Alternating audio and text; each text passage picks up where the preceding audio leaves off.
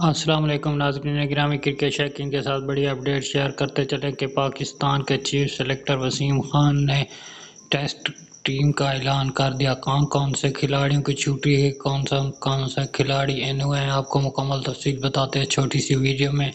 Video में जाने से पहले आपसे गुजारिश है, हमारे चैनल को सब्सक्राइब करें, बेल आइकन के बटन को दबा दें, ताकि इस तरह की मज़ीद लेटेस्ट वीडियो आपको बसानी मिल सके। जी नाजरीन, आपको बताते चलें कि पाकिस्तान के चीफ सेलेक्टर वसीम खान ने बड़े खिलाड़ियों का ऐलान कर दिया, जिसमें आबिद अली, अब्दुल्ला शफीक की वापसी हुई है, जबकि बोल रूम में मोहम्मद अब्बास मोहम्मद अब्बास की वापसी है, जबकि अजहर अली भी टेस्ट स्कोड के अब नए कप्तान बना दिए गए हैं।